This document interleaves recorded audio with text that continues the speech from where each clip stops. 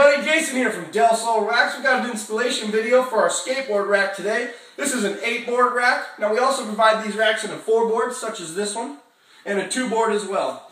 Now these racks are very easy to install. Absolutely no assembly required. That's right, no assembly required.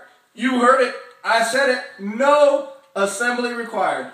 When you buy this item, it comes with the rack itself, two screws, and two wooden screw plugs for a finishing touch. Now, we highly recommend, as of with all of our racks, that you anchor all your screws into studs. So what you want to go ahead and do is you want to locate your stud on your wall. Then once you've done that, you want to measure your rack, find out how high off the ground you'd like to keep your rack.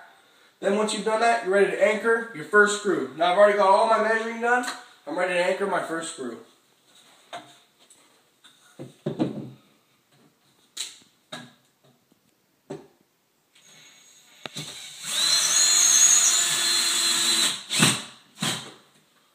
You want to toss your level up here.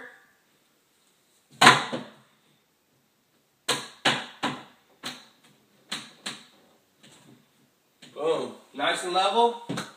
Anchor your second screw.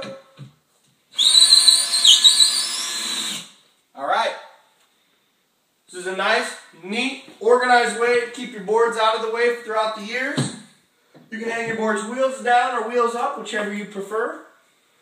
Want to get your boards on here just like so.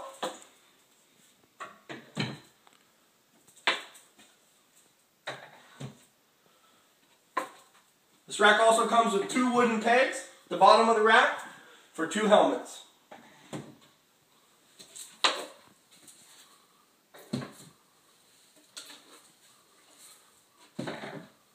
Get your finishing plugs in here. Okay. And there you have, completely installed, eight rack, skateboard rack. Have a nice day.